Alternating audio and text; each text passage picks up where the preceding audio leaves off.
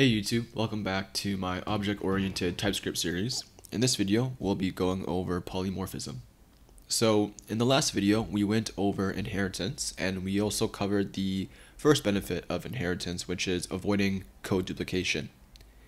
So if we have many classes that share the same state and behavior, we can extract it out into a superclass, right? So let's say we had a few player classes when we were creating, let's say, the Mario clone.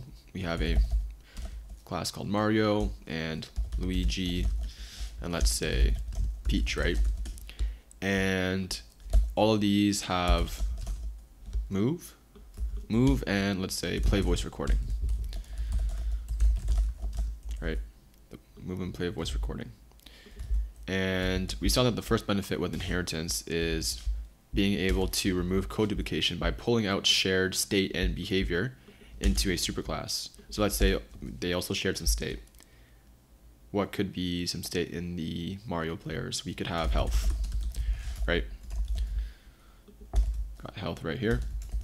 And instead of repeating this, with codification, we extracted them out, abstracted them out into a class called character or player. I'm going to say a character. And the character is going to have the state and behavior and then we're going to remove the implementations in the in these classes and simply extend the character. So now Mario, Luigi, and Luigi and Peach are inheriting these methods and instance variables. So that's the first benefit of inheritance. We have remove code duplication.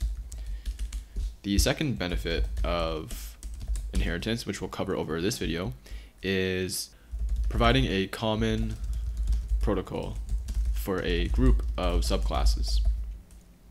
And what this brings us is polymorphism. So when we use inheritance, we tell our program that all classes grouped under a certain supertype will have all of the methods and instance variables that the supertype has. So let's say we have a class hero and we're creating some sort of RPG game. A hero has hunger, which is a number and it also has health, which is a number. And let's say it has some methods. It has the attack method, move, and eat.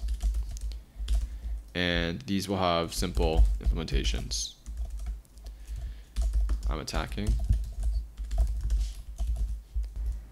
I'm moving. And also, I'm eating. And then we'll have a few classes, subclasses inheriting from hero we'll have an archer, which extends hero.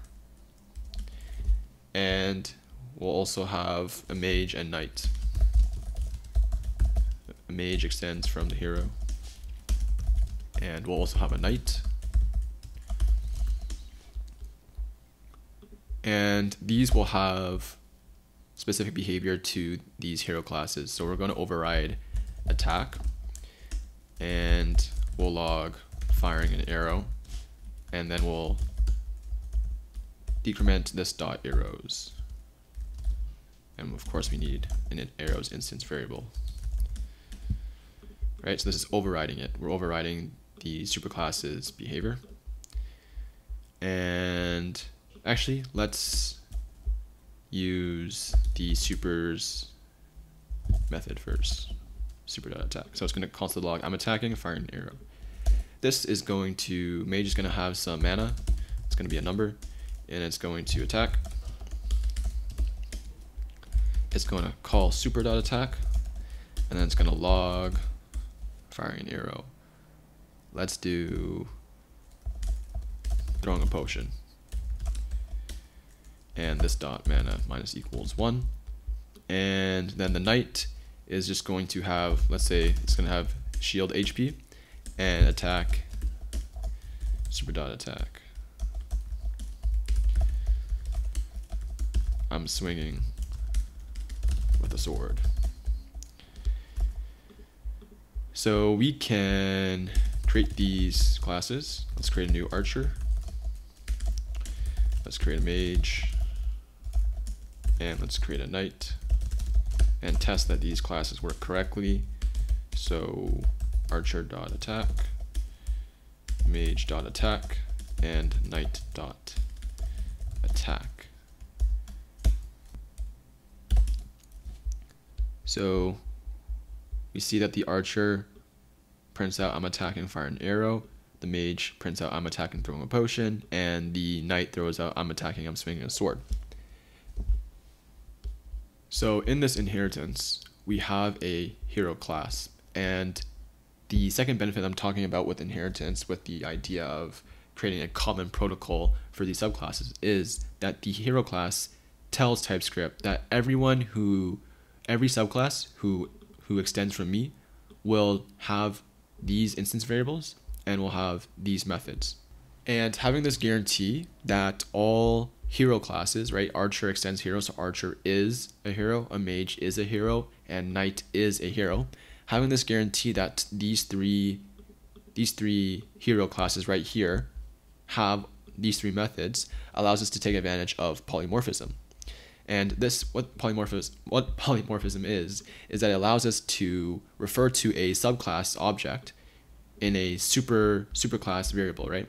So here we see that when we are having the type of the variable, we see that the type of the variable is inferred implicitly by TypeScript, right? Because this value is an archer, and then the type of the archer variable is archer. Same thing for mage, and same thing for knight. But because of polymorph polymorphism, what we can do is we can declare the type, explicitly annotate the type of archer to be of type hero. The reason why we can wire up a hero type variable to an archer object is because since the archer extends the hero, an archer is a hero. So when we need type safety, when the compiler needs type safety, we still get that type safety because all of the methods and instance variables of a hero, the archer has as well since it extends it, and this is what polymorphism is. We can do the same thing for the other two with the mage and knight. And now, as long as TypeScript is concerned, these three variables are hero type variables. They aren't specific archer, mage, or knight. And these these hero is a super type of these subtypes. So you might be asking what the advantage of declaring these type of supertype variables and then wiring them up to subtype objects. Well, the main benefit is it makes our code uh, it makes our code very flexible. Let's say we had a tribe class and we're going to create a list of heroes. It's going to be a hero array. And because it's private, we're going to need a setter, set heroes and this is going to take a hero, let's say hero array. And just going to set this dot heroes to heroes. And then, and then the main method that the tribe class will be known for is the attack. And what this attack method does is it's going to loop through all of the tribe's heroes and and let those heroes attack. So for every hero of this dot heroes, we're going to call hero dot attack. So here we're using polymorphism because we don't know what these specific heroes are. We just care that this array, these these specific objects are heroes because we all we care about is we just need guarantees that the things that we're working with are heroes. So we have access to the attack, eat, and move methods and health and hunger properties because it's, it's a hero. That's what the hero class creates. This is a common protocol. It's a contract that all three, that all three in this case, but all in general, all subclasses will conform to.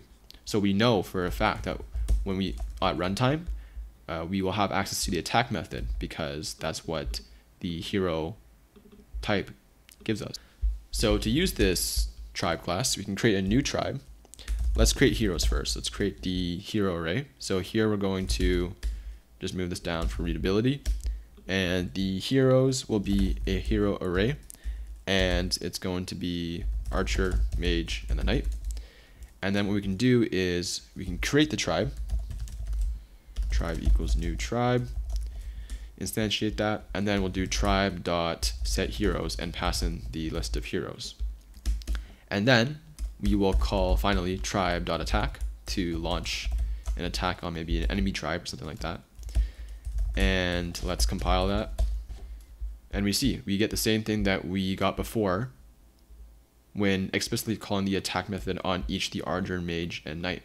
So the calling code right here, tribe, doesn't care what specific subclass it is. It doesn't care if it's an archer or it doesn't care if it's a mage. It doesn't care if it's a knight. As long as you give it an array of heroes, then the tribe class is good because for all it cares, the tribe class just wants to call the attack method.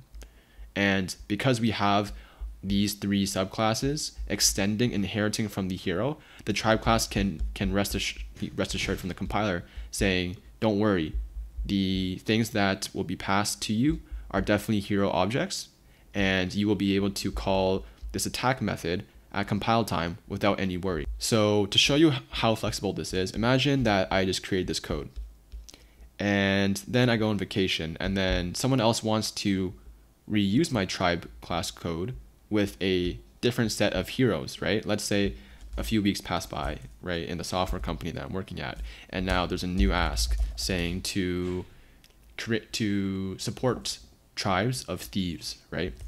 It's a new type of hero. They're called like thieves. So someone here could create a, um, let's say like a thief, and it extends the hero class, right? So this is new code. This is not touching the old tribe class code. And what this does is it has the attack method. And what this does is call super dot attack, the super types attack method, and then it calls dot logs, let's say pickpocket. And that's it. So then we can create a new list of heroes. And this one will be, let's say, it won't be pickpocket, it just, yeah, it'll be pickpocket. And then we'll have a thief equals a new thief.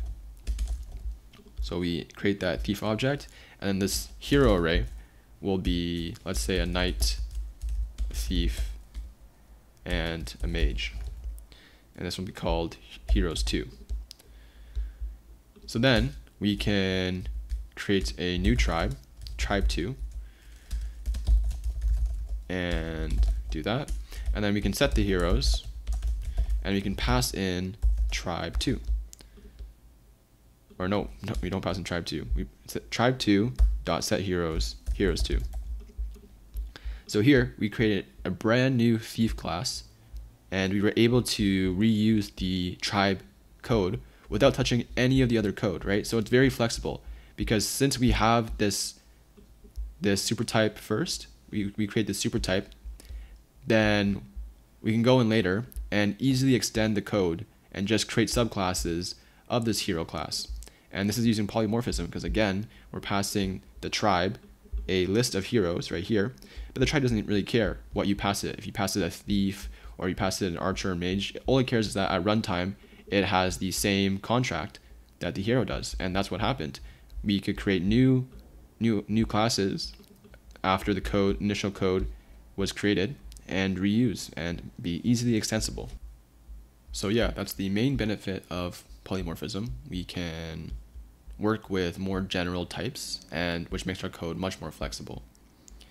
And one thing to remember when working with polymorphism is that you can you can fit or you can wire up objects on the right hand side to a type on the right hand on the left hand side if the object is the type. So here this type is hero, right? And an archer is a hero. It passes the is a test because the archer extends the hero, right?